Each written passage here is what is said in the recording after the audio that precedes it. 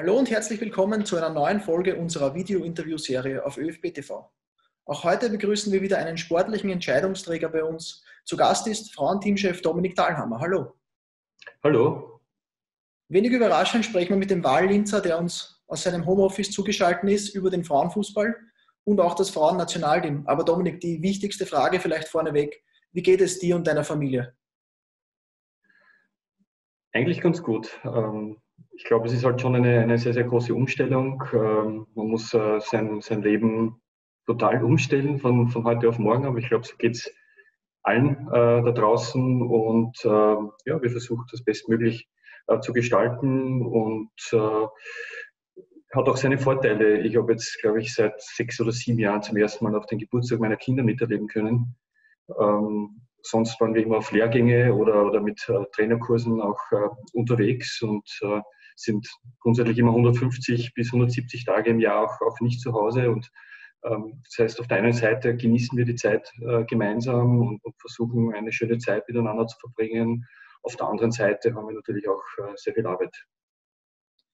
Wie läuft jetzt die Arbeit im Homeoffice? Es ist ja ähm, im Prinzip für alle Mitarbeiter im Moment so, für alle Mitarbeiter des ÖFB, für viele Mitarbeiter unter unseren Zuschauern, dass zurzeit nur Homeoffice-Arbeit möglich ist. Wie gehst du mit dieser ja, viel zitierten neuen Normalität im Berufsleben um?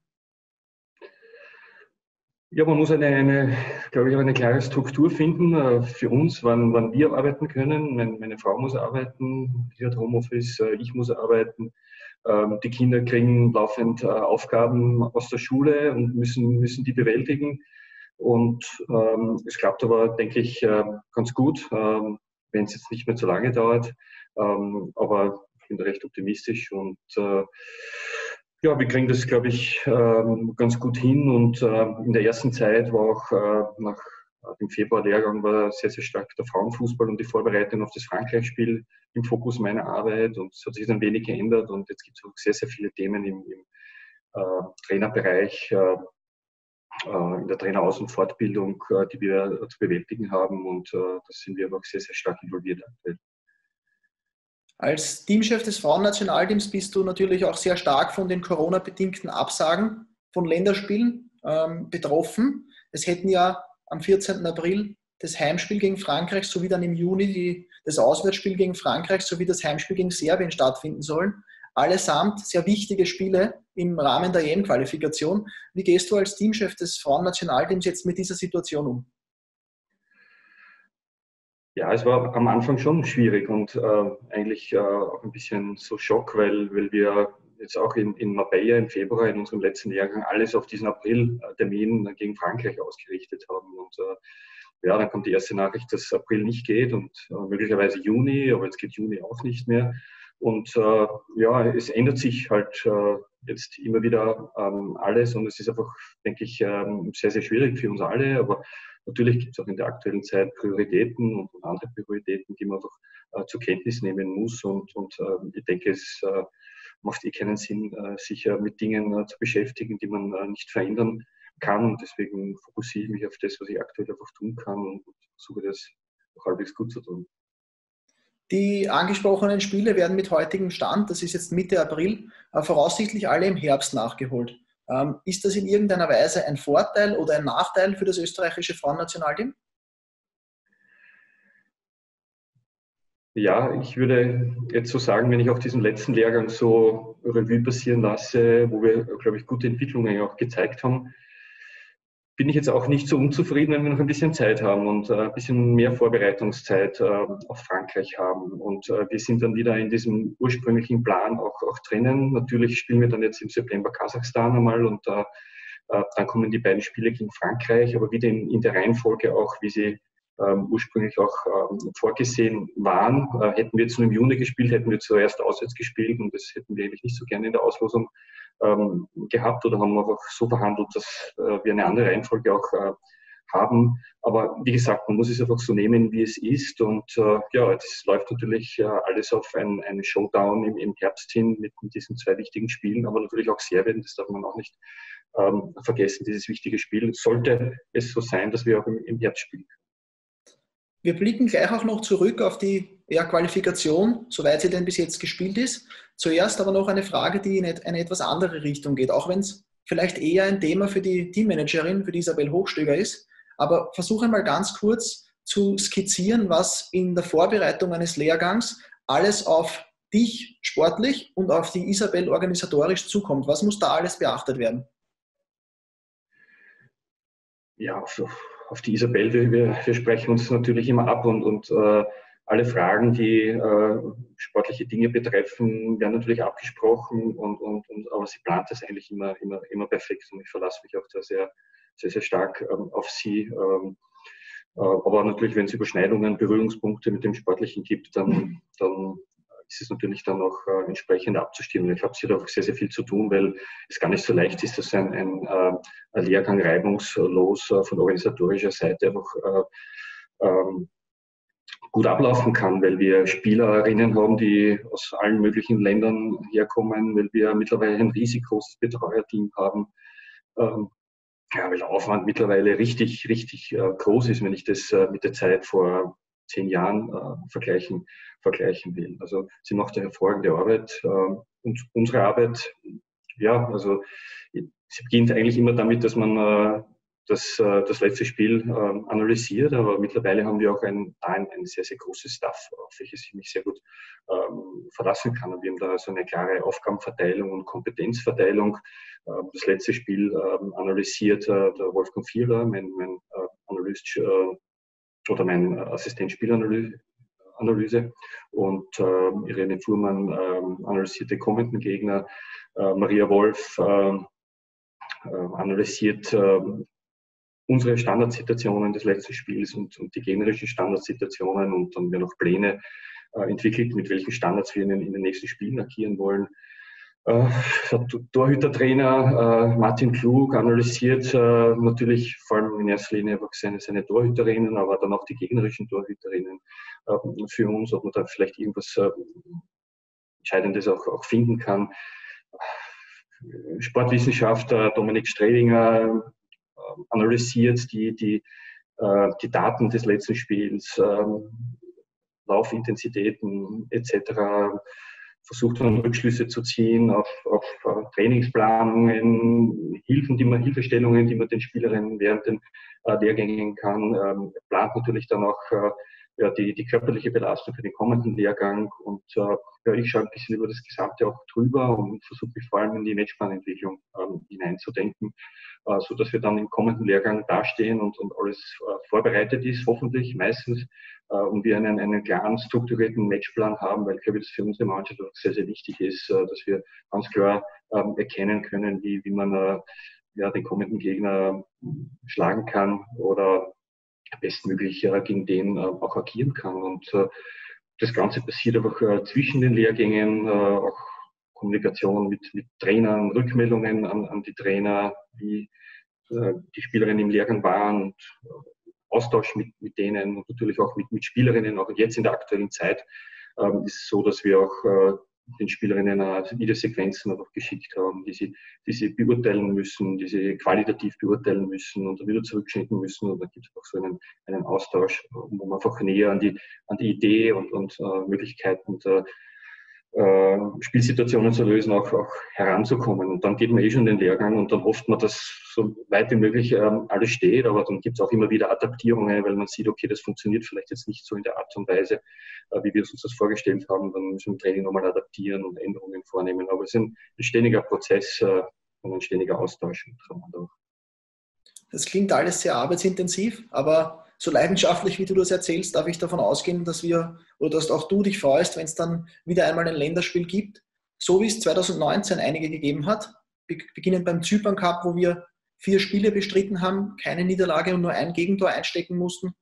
Dann über den Abschied von Nina Burger im April-Lehrgang gegen Schweden äh, bis zu dem Freundschaftsspiel gegen die Slowakei und vor allem den erfolgreichen äh, Qualifikationsherbst mit vier Spielen und 16 zu 0 Toren welche Entwicklung hat das Frauennationalteam im Kalenderjahr 2019 genommen? Ja, also das eine ist natürlich äh, subjektive Beurteilung, wenn man aber auf Spielleistungen versucht, einfach zu, zu analysieren. Und das andere ist auch, wenn man sich vielleicht auch mit, mit Daten beschäftigt, was wir natürlich auch, auch, auch versuchen, dass wir einfach äh, hier äh, nicht, nicht sehr oberflächlich auch, auch beurteilen und, und äh, analysieren. Ich denke, im ersten Jahr hatten wir so unsere äh, kleinen äh, Probleme, auch Zypern Cup, wenn es jetzt ganz passabel war, war aber dann doch nicht so, wie wir es uns vielleicht vorgestellt haben. Und äh, wir haben ja zuvor viel verändert und, und dann kam Schweden und, und ja, haben wir 0-2 oder 0-3 verloren und, und Slowakei war kein sehr gutes Spiel. Ähm, also es war dann schon so, dass wir in einer Phase waren, wo man vielleicht ein bisschen gezweifelt hat, kann das alles vielleicht so funktionieren, müssen wir wieder was ändern und ja, war gar, kein, gar keine so eine äh, einfache Situation, aber ähm, ich denke, dann sind wir einfach sehr, sehr gut hineingestartet und dann ja, hat man gesehen, dass es äh, das eine in sich an, das eine in das andere auch äh, in sich greift und, und, und sich verbessert und ähm, stehen jetzt gut da in, in, der Qualifikation, auch, auch wenn man sagen muss, dass die ähm, von diesen vier Gegnern die drei natürlich auch äh, geschlagen werden müssen. Aber ich denke auf die Art und Weise, wie das passiert ist, äh, wie, wie kontrolliert man einfach hier gespielt hat. Ich kann mich an viele Spiele in, vor fünf, sechs, sieben Jahren erinnern, äh, gegen Spiele gegen Mannschaften, die in dem Bereich lagen. Also das war grauenvoll. Also da haben wir äh, überhaupt keinen Spielrhythmus gefunden, wir haben auch die geschlagen, aber, aber es war die Art und Weise, wie wir es aber gemacht haben, eine ganz andere und das stimmt mir auch sehr, sehr ähm, zuversichtlich äh, für, die, für die kommenden Aufgaben. Du hast vorher schon ganz kurz den Lehrgang in Marbella angesprochen, den wir Anfang des Jahres bestritten haben. Wir waren einiges, eines der wenigen äh, ÖFB-Nationalteams, das in diesem Jahr sogar noch Länderspiele bestritten hat, zwei freundschaftliche gegen die Schweiz nämlich. Ähm, Jetzt rückblickend zu diesem Lehrgang in Marbella und vorausblickend auf ein mögliches Match gegen Frankreich, wie weit wären Viktoria Schnaderbeck und Co. schon gewesen? Du hast vorher gesagt, es ist vielleicht gar nicht so schlecht, dass jetzt noch ein bisschen Zeit bis zum Frankreich-Spiel ist. Wenn man die, die Spielleistung nimmt und, und ich habe immer die Schweiz auch viele Spiele jetzt beobachtet und, und, und gesehen und wir wissen auch, wie die Schweiz 2017 war und wie sich so beide Teams auch parallel entwickelt haben, dann, dann äh, war das äh, aus meiner Sicht schon sehr, sehr beeindruckend, wie, wie klar besser wir, wie dominant wir in, in, in den beiden Spielen waren, wie oft wir den Ball hatten, wie, wir, wie viele Aktionen wir gespielt haben, wie oft wir einen gegnerischen Strafraum bekommen sind, wie, wie oft wir in Abschlusssituationen bekommen sind, äh, wie viel Ballgewinne wir im Pressing einfach gegen die Schweiz, vor allem einfach im ersten Spiel hatten. Also das sind doch ähm, so klare Indikatoren, die ähm, darlegen, wie stark einfach die Entwicklung ist. Und auf der anderen Seite steht einfach das Ergebnis. Und da kann man natürlich einfach von diesem Gegner Schweizer extrem viel lernen, weil die aus, aus diesen wenigen Möglichkeiten viel, viel gemacht haben und, und dann trotzdem im ersten Spiel dann gegen Ende noch den Ausgleich geschafft haben und im zweiten Spiel gegen Ende noch den Siegestreffer ähm, geschossen haben. Und äh, ich glaube, das steht äh, einander so gegenüber. Einerseits einfach die Entwicklung und die Dominanz und andererseits aber die Effizienz und äh, wir müssen uns natürlich auch äh, insofern einfach entwickeln, dass wir dann die Ergebnisse bringen, aber das hat uns jetzt äh, nicht groß beunruhigt. Äh, auf der anderen Seite war auch Laura Feiersinger verletzt in dem Lehrgang, konnte gar nichts trainieren. Ich weiß nicht, ob sich das für, für April äh, ausgegangen wäre. Also, sie ist schon auch eine sehr, sehr äh, wichtige Spielerin. Ähm, dann gab es noch zwei bis drei sehr junge Spielerinnen, die ihre Talentprobe abgegeben haben. Die Marie-Therese Hübinger hat mich sehr, sehr stark beeindruckt. Auch die Katja Wiener-Reuter, die ihr erstes Spiel im Nationalteam abgegeben hat. Also wie, wie die beim Lehrgang erschienen ist und, und, und ja, sich gleich einfach gezeigt hat, war, war beeindruckend und, und, sehr, sehr gut und erweitert natürlich auch äh, ja, unseren Handlungsspielraum, mehr Spielerinnen, mehr Konkurrenzkampf. Äh, das tut der Mannschaft gut und äh, ja, es ist, wie es ist. Äh, ich hoffe, dass wir im Herbst spielen können in Frankreich. So oder so, der Weg zur UEFA Women's Euro 2021 ist noch ein sehr weiter, zumal ja im Raum steht, dass die Europameisterschaft äh, verschoben wird. Die UEFA hat noch keinen offiziellen Termin bekannt gegeben, aber dem Vernehmen nach könnte es sogar sein, dass es um ein Jahr verschoben wird. Aber wenn man auf das Event blickt, eine Frauen-Europameisterschaft ist mittlerweile ein Mega-Event. Wir haben ja in England zu erwarten Zuschauerzahlen, Medienvertreter, die in dieser Form vielleicht beim Frauenfußball noch nie vertreten waren. Wir haben Stadiengrößen, die völlig neu sind. Wir werden wahrscheinlich das Turnier der Superlative erleben. Ist es da nicht ohnehin besser, wenn die Frauen-Europameisterschaft ein Jahr später vielleicht die ungeteilte Aufmerksamkeit des Sportsommers genießt? Ja, wenn, wenn das dem so ist, dann auch, dass äh, die Corona-Krise in, den Griff gebracht wurde, wenn es möglicherweise Impfstoffe und, und Medikamente gibt, äh, dann würde ich äh, das schon äh, vorziehen. Also in vollen Stadien zu spielen und möglicherweise nicht in einem halb gefüllten oder keine Ahnung, welche Szenarien man einfach dann 2021 antreffen wird. Das weiß man jetzt alles noch nicht. Das ist sicher die eine Seite, da kann ich nur, nur zustimmen. Auf der anderen Seite immer gedacht, ja, aber dann wäre ja schon elf Jahre, elf Jahre beim Nationalteam dabei. Also Wahnsinn. Ähm, ist schon noch eine lange, lange Zeit und äh, ja, das ist auch die andere Seite der Medaille. Äh, aber gut, man, man wird es erwarten können. Wir werden es auf jeden Fall erwarten können. Ähm, wenn wir nach Österreich blicken, ist ja seit dem Präsidiumsentscheid jetzt vom, ich glaube, 15. April war es, klar, dass die Meisterschaften in Österreich nicht mehr fertig gespielt werden. Sie wurden abgebrochen und annulliert. Das gilt auch für die Frauen-Bundesliga, für die Planet Pure Frauen-Bundesliga.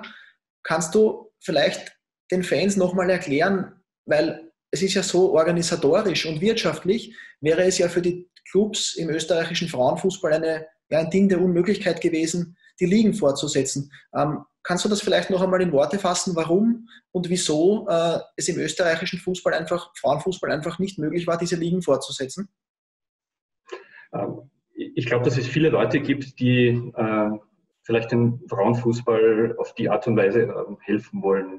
Ähm, das ist, denke ich, sehr, sehr löblich, aber trifft einfach nicht äh, oder geht nicht in die richtige Richtung, weil ähm, ich glaube einfach äh, aufgrund dieser Einschränkungen oder Eingriffe der Regierung aktuell äh, hat der ÖFB aus meiner Sicht einfach äh, auch gestützt auf dieses Rechtsgutachten ähm, einfach die richtige Entscheidung getroffen im Sinne einer gewissen, gewissen Rechtssicherheit, dass natürlich auch sehr, sehr viele äh, Leute einfach äh, dann emotional sind und, und das nicht verstehen und, und, und andere Lösungen gern hätten, ähm, ist, denke ich, auch, auch verständlich. Aber es ist halt immer die Frage, welche Lösung es gibt, die, die letztendlich dann auch alle, alle zufriedenstellen kann und, und dann rechtlich auch auf äh, entsprechenden gesunden Beinen steht. Und äh, ja, in beiden Bereichen, also die, der Männerfußball oder die, die erste Liga bei den Männern und die äh, erste Liga bei den, bei den Frauen sind natürlich die, die höchsten Liga, liegen in ihrem Bereich. Aber ähm, ich glaube, jeder weiß, dass, dass das eine Profifußball ist und das andere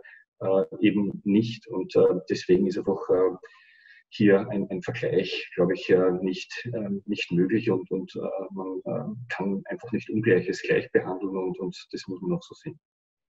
Was wir damit aber auf keinen Fall meinen, ist, dass sich der österreichische Frauenfußball nicht weiterentwickelt hätte. Man sieht es ja nicht nur an der Spitze beim Frauennationalteam, bei den Nachwuchsnationalteams, dass man da ja im, im, erweiterten europäischen Spitzenfeld mittlerweile durchaus bestehen kann und auch für die ein oder andere Überraschung und Europameisterschaftsteilnahmen sorgen kann.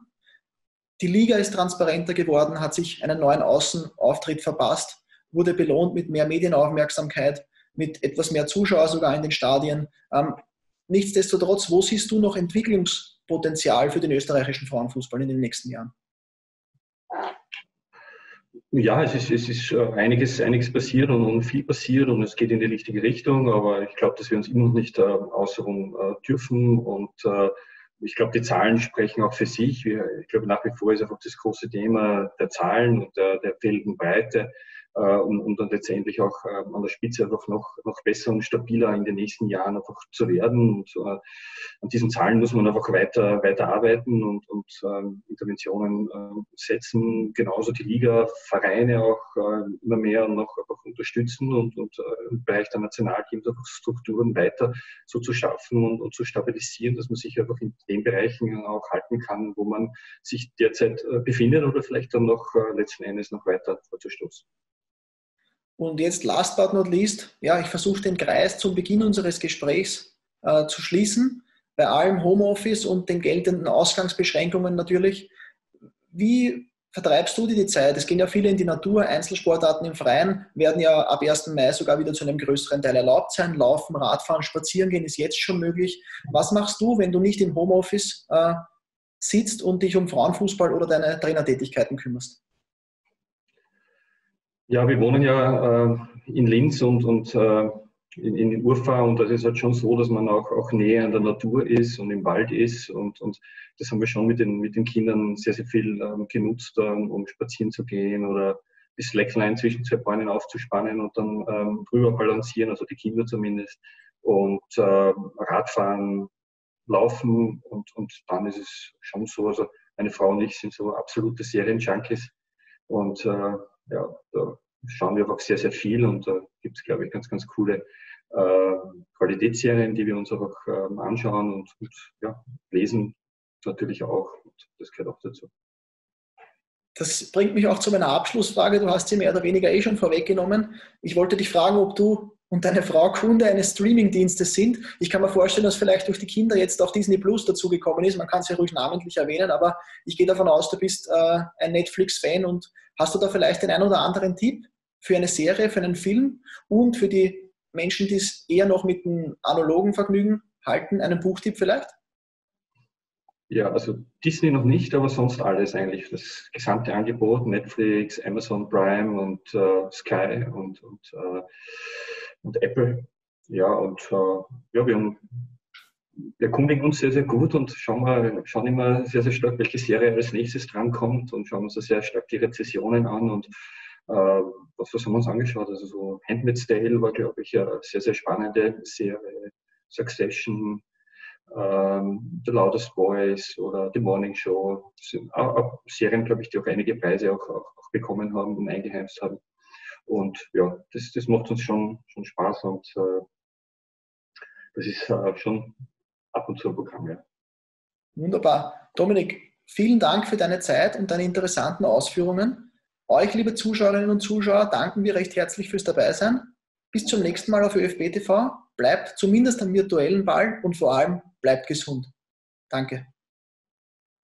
Alles Gute und bis bald, hoffentlich äh, am Fußballplatz.